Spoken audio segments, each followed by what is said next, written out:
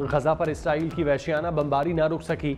मजीद एक सौ चौंतीस फलस्तनी शहीद, मकबूजा मगरबी किनारे में इसराइली फोर्सेज की फायरिंग से पाँच फलस्तनी शहीद, नाबलस की यूनिवर्सिटी से मुताद तलबा को गिरफ़्तार कर लिया गया। इसराइली फजाई हमलों में जख्मी कराटे चैंपियन नगम अबू समरा शहीद हो गई। खान यूनस में फ़लस्तनी मुजामतकारों की काबिज फौज से झड़पें भी जारी। अरब मीडिया के मुताबिक सात अक्टूबर से अब तक चौबीस हज़ार से जायद फ़लस्तनी शहीद हो चुके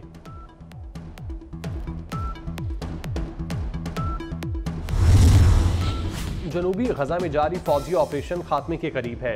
इसराइली वज़ीर दिफा का बयान सामने आ गया।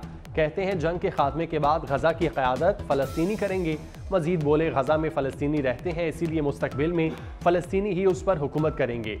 ये ऐसे वक्त में है कि गुजशत रोज़ गजा जंग के अहदाफ हासिल न होने पर वज़ीर दिफा की काबीना अजलास में वजी अजम नितन याहू से तल कलामी हुई थी।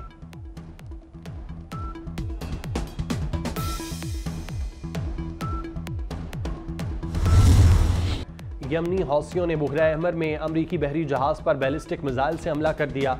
अमरीकी फौज ने वाकई की तस्दीक कर दी।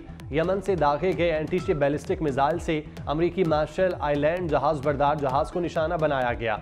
मिसाइल हमले में कोई जख्मी नहीं हुआ। जहाज़ को भी ज़्यादा नुकसान नहीं पहुँचा। हमले के बाद बहरी जहाज़ अपनी मंजिल की जानब रवादमा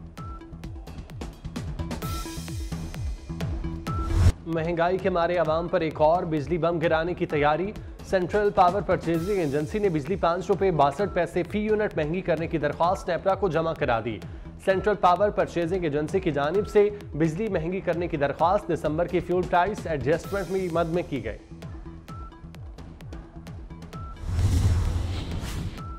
पेट्रोल आठ रुपये सस्ता दो सौ उनसठ रुपये चौंतीस पैसे फ़ी लीटर हो गया। डीजल की कीमत बरकरार। दो सौ छिहत्तर रुपये इक्कीस पैसे फ़ी लीटर ही मिलेगा। वजारत खजाना ने नोटिफिकेशन जारी कर दिया।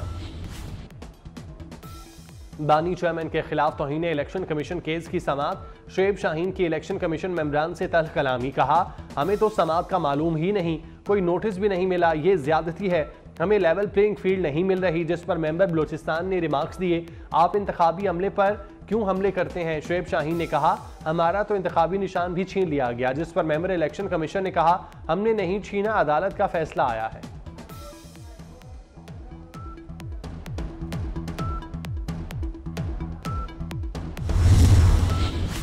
वज़ीर अला पंजाब का रात गए, लाहौर में गंगाराम और जनरल अस्पताल का दौरा। गंगाराम अस्पताल की अपग्रेडेशन कामों का जायजा लिया। अस्पताल के कॉरिडोर से गुजरने वाली सीवरेज लाइन का नोटिस। लाइन को मुतबादल जगह मुंतकिल करने का हुक्म। वज़ीर अला ने जनरल अस्पताल में जारी अपग्रेडेशन के कामों का भी जायजा लिया।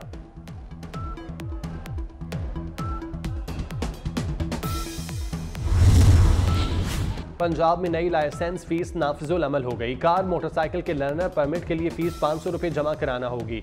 शहरी अब एक, दो, तीन, पाँच और दस साल के लिए लाइसेंस हासिल कर सकेंगे।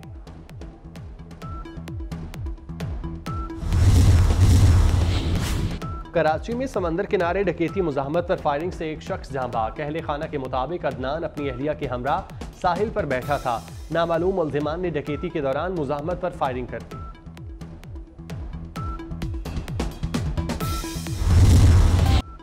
मुल्क के बेशतर मैदानी इलाकों में खून जमा देने वाली सर्दी, शुमाली इलाकों में भी कड़ाके की सर्दी रिकॉर्ड तोड़ने लगी। स्कर्दू में दर्जा हरारत मनफी छः डिग्री तक गिर गया। पंजाब और खैबर पख्तूनख्वा के मैदानी इलाकों में धुंध की वजह से मोटरवे कई मकाम से ट्रैफ़िक के लिए बंद रही।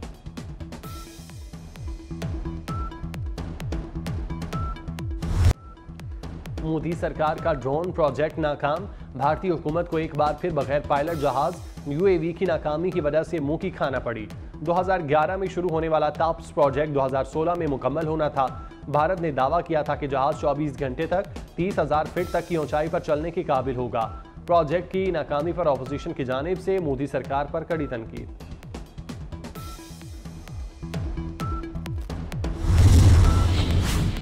अमरीकी रियासत आयवा में रिपब्लिकन डोनाल्ड ट्रंप एक बार फिर सर फहरिस्त सदारती उम्मीदवार बन गए। सख्त सर्दी के बावजूद रिपब्लिकन पार्टी के रहनुमाओं और कारकुनों ने नवंबर के सदारती इलेक्शन में अपना उम्मीदवार चुनने के लिए बहसू मुबासे में हिस्सा लिया और वोट डाले। 2020 में भी डोनाल्ड ट्रंप ने आयवाकिक्स में सत्तानवे फ़ीसद वोट लेकर तमाम उम्मीदवारों पर गैर मामूली सबकत ली थी।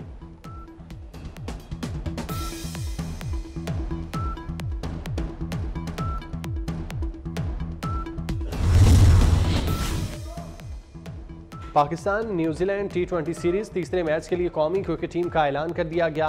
कौमी क्रिकेट टीम में तीन तब्दीलियाँ की गईं। उसामा मीर, आमिर जमाल और अब्बास आफरीदी आउट मोहम्मद वसीम जूनियर, जमान खान और नवाज़ तीसरा मैच खेलेंगे। अमरीका और कनाडा में खून जमा देने वाली सर्दी, शदीद बर्फबारी से ज़िंदगी का निज़ाम बुरी तरह मुतासर। कई रियासतों में दर्जा हरारत नुकता इंजमाल से भी नीचे गिर गया। न्यूयॉर्क न्यू जर्सी कैचिकन में शदीद बर्फबारी और तूफ़ानी बारिशें, कनाडा के सूबा, अल्बर्टा के शहर, एडमिंटन में सर्दी का 50 साल रिकॉर्ड टूट गया। एडमिंटन में दर्जा हरारत मनफी तिरपन डिग्री तक गिर गया। बरतानिया में भी महकमा मौसमियात ने शदीद बर्फबारी की पेशगोई कर दी।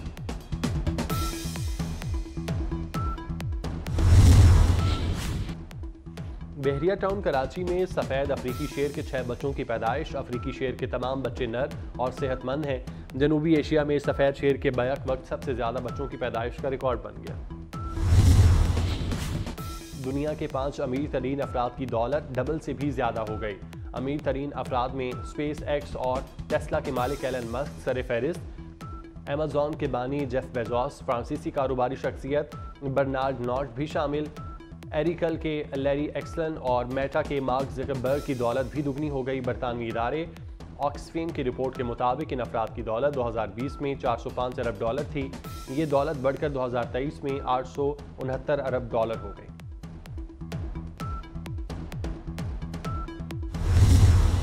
नून लीग मैदान में आगे इंतबी मुहिम का आगाज़ कर दिया। उकाड़ा में पहला पावर शो। मरियम नवाज़ का पत्तुकी से उकाड़ा तक शानदार इस्तकबाल। कारकुनों से धुआंधार खिताब में बोली, नवाज़ शरीफ ने इंतकाम नहीं लिया। कुदरत ने सूम नोटिस लिया। नवाज़ शरीफ से जुल्म करने वाला एक एक जालिम अपने अंजाम को पहुँच रहा है।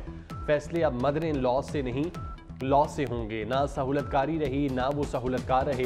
दहशत गर्द को सियासी पार्टी का निशान नहीं मिल सकता। शेर पर मोहर लगाओ और पाकिस्तान को नवाज़ दो।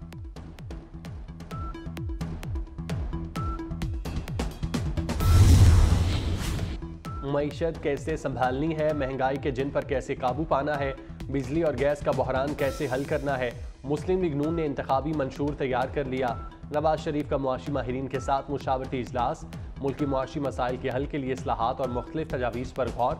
मुआशी बहाली और आवाम को महँगाई से निजात दिलाने के मनसूबे को हतमी शक्ल दे दी गई।